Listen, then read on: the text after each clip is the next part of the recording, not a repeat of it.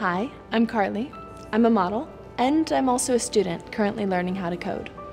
Whether we realize it or not, code touches everything we do. And yet, it is only taught in one in 10 schools in the United States. Last summer, my passion and excitement for coding's endless possibility led me to launch a scholarship to empower, enable, and inspire other young women to learn how to code.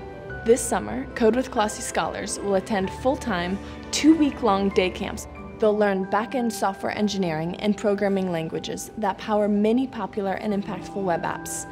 No matter what problem you face, you can always find a way to overcome it through creativity and grit. You will quite literally prove to yourself that you have what it takes to create something out of nothing. And that is the most empowering feeling. Scholars will be in collaborative, focused, and fun learning environments that welcome coders, whether it's their first day or 100th day coding. To apply, share your 60 second video telling us how you'll use your new coding superpowers.